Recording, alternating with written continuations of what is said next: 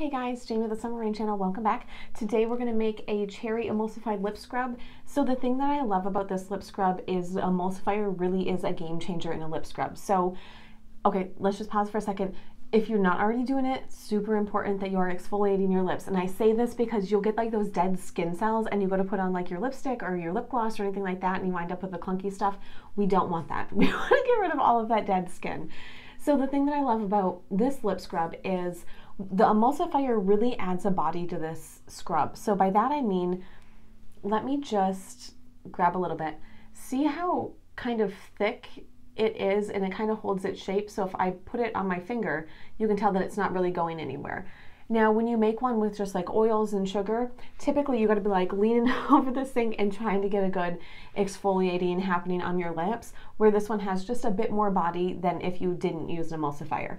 The second thing that I like about this scrub is the emulsifier, when it's introduced with water, it kind of rinses off most of that greasy residue that can sometimes be left behind. Not that that's a big deal because I typically, you know, rinse my face off anyways. I did post the full recipe on the video, also put a link to my blog down below. So in the blog post, I go just a little bit more in depth on all the ingredients, why we use them, everything like that. So if you want to hop over to the blog, that is in the description box down below. Without further ado, let's dive in and make our lip scrub. Oh, and if you haven't done so already, be sure you hit that subscribe button down below. We're going to go ahead and start out by grabbing a heat safe container. And to this, we're going to add our grapeseed oil. And our stearic acid. We're going to pop this on a double boiler until it's completely melted. So here are our melted oil phase ingredients. What we're going to do is just give this an ice bath.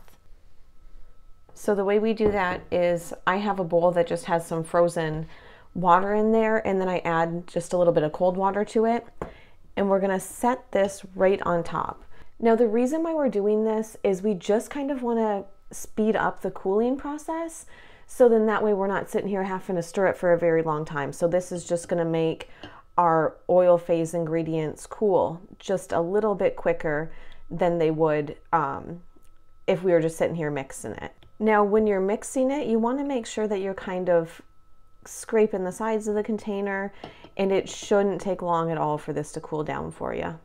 So it's going to get to a consistency that's almost like a thick pudding consistency. And you want to wait until it gets to that consistency before you pull it off the ice bath. And as you can see, it's starting to thicken up just a bit here. And I'm going to leave this just on here for a few more seconds and let it cool down just a bit more than what it is. Okay, so as you can see, when it's completely cooled down, it's going to be like I don't know, maybe a pudding like consistency. Now that this is cooled down, we're going to go ahead, we're going to add our cherry flavor oil. And then we'll just mix that in there really good. It's kind of funny that it's called flavoring oil because it actually doesn't have a flavor. So it's more of a smell than it is a flavor oil. But I guess if they called it a fragrance oil, we'd think it was for lotions and such and not lip balms or lip scrubs.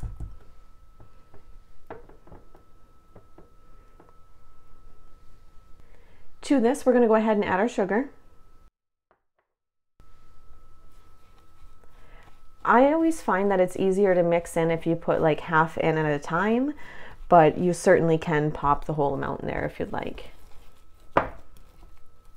I just like to get a good feel for the consistency as I'm making it.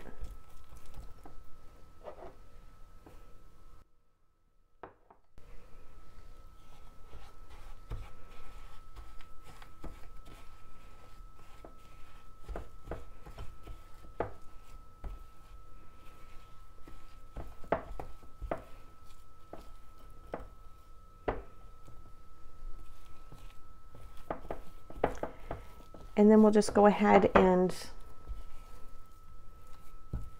give that a good mix. And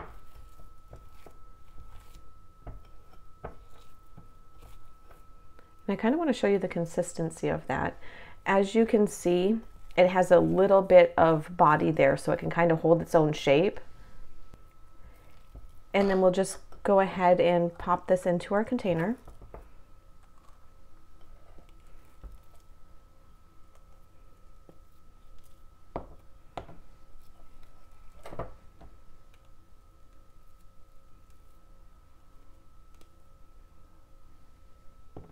I really hope you enjoyed the video. I hope you enjoy making your own cherry emulsified lip scrub. Bye!